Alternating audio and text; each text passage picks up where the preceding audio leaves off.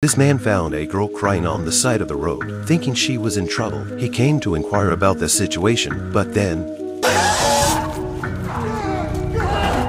the man was killed by the vampire girl. His body was found the next day, and this is the third murder in the town. Agent came to the girl's house to investigate and found her sleeping in the bathtub. The house was dark. The agent just lifted the curtain, and Mary's skin split open instantly. Jack appeared just in time to stop him. Then